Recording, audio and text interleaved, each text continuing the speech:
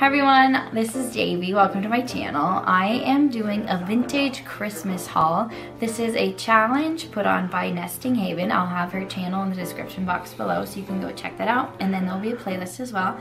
But I have a few items for this video that I want to share with you. Uh, I'm not in my normal place like I usually am. I'm at my family's so um, there's a different atmosphere and it might be a little noisier in the background but I'll still show you what I got. Um, I'm gonna start right away so come along with me.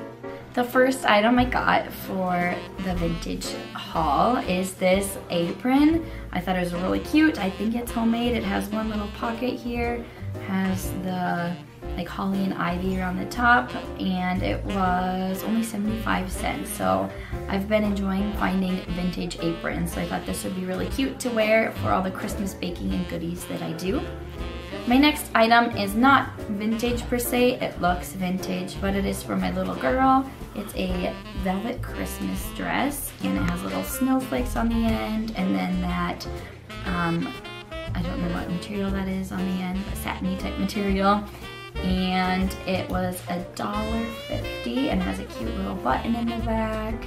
Um, so that will be really cute for Nevaeh to wear at Christmas time. And then I got this lap blanket. I know it's not Christmassy, but I like to use whites on my couches and on my love seat to use for decorating in general, but I think this would be great for Christmas time. And it was $2 or $2.50. Um, and then one more thing I'm gonna show you here, and the other thing I pre-recorded at my house. So I got this wreath that's gonna go on our outside of our door.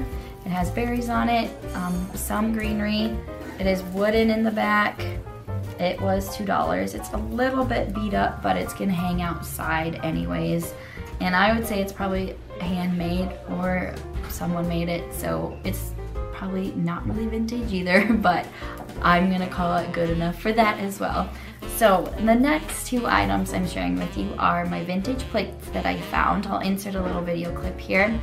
They are um, Currier and Ives plates and I just love how they look in my decor. If you watched my Christmas um, home decor video, you saw them there. So definitely go check that out. I'll put it up here in the cards for you to watch.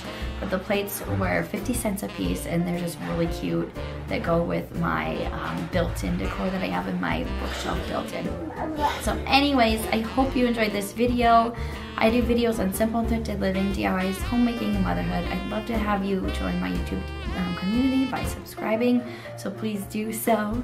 And uh, go check out the playlist below with that. Have a blessed and wonderful day. Bye.